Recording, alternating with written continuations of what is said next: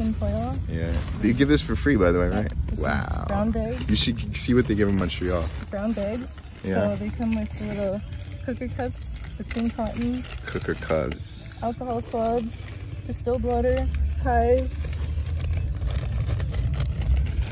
and clean gear. Ooh. I got like a little bit of anxiety when I saw that And then device. I always grab a sharps container. I always want to dispose of cleanly. And tons of condoms because I work as a whore for a living. Wait, what are these? I asked for condoms, so she filled the bottom of the bag with condoms. Condom?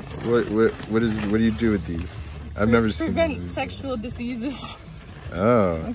I was like, can I have a lot? Is this like flavored? Some of them.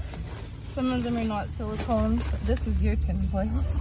Why why do they give con is it for It's STDs? peop- it's for or- girls that work, girls that are escorts. Okay, so it's not for like to use as like a rubber band to No, no, no, no. like get a vein. No, that's what these are for. Ah, see we didn't see those. Yeah, Holy put that out. shit, But they even in the sharps container, they stuff it all full of the same shit. Dude, what the fuck? They really hook it up. they do. Props, Canada. Good job. Red deer. Red deer. Thank you, This red is deer. so red deer. Is it, can you not get this in Calgary?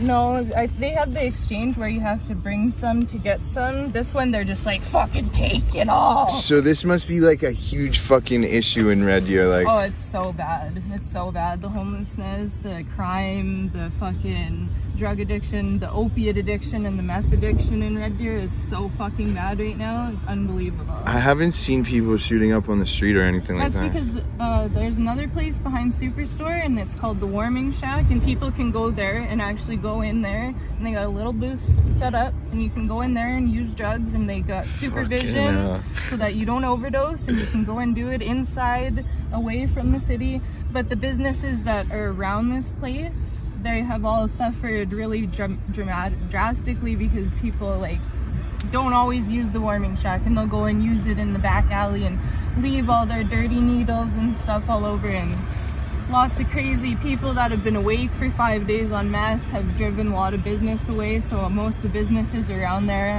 have moved away. So yeah. It's pretty shitty. Welcome to Red Deer. it's so red deer RD.